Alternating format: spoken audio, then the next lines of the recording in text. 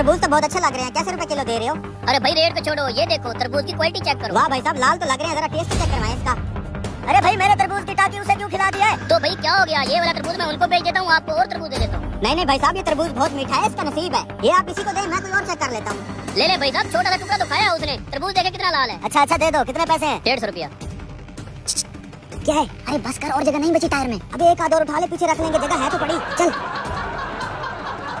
ये ले भाई साहब ये पकड़ो पैसे। हाँ भाई साहब कौन सा दाना चाहिए? अब भाई साहब घर में दो ही बंदे खाने वाले हैं। ये छोटा सा दाना है इसको तोले जरा। ये पहले चेक कर लें कितने का है। अच्छा भाई साहब अभी चेक कर लेते हैं। जगह नहीं है सर पे रखूँ मैं अपने। अबे रख ले पकड़ पकड़।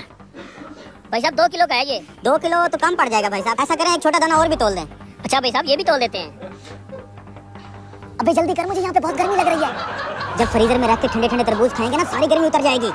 खैर तो है भाई साहब इस टायर से बातें कर रहे हो क्या? अरे नहीं नहीं भाई साहब असल में हमारे ट्रैक्टर का टायर हो गया पंचर। अभी अभी उतार के लाया हूँ पंचर लगवाने जा रहा था सोचा तरबूज भी लेता चलूँ। अच्छा इसको पंचर लगवाने जा रहे हो क्या? ये टायर तो बहुत पुराना और फारिग लग रहा है। अब क्या बताऊँ भाई साहब गुर्बत का दौर है टायर इतने महँगे हो चुके हैं ऐसी पुराने टायर से काम चला रखा है। अच्छा भाई साहब ऊपर वाला आपकी गुर्बत टाले जी भाई साहब अबे तू जल्दी से निकल यहाँ से।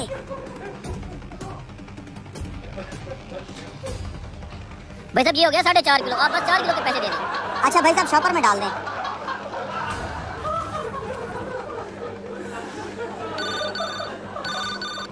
हाँ जी।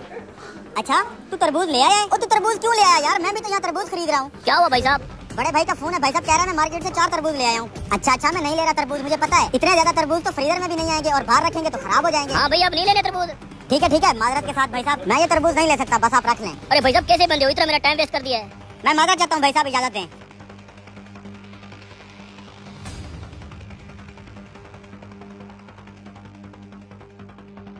भाई साहब एक तरबूज तो देना। अच्छा भाई साहब।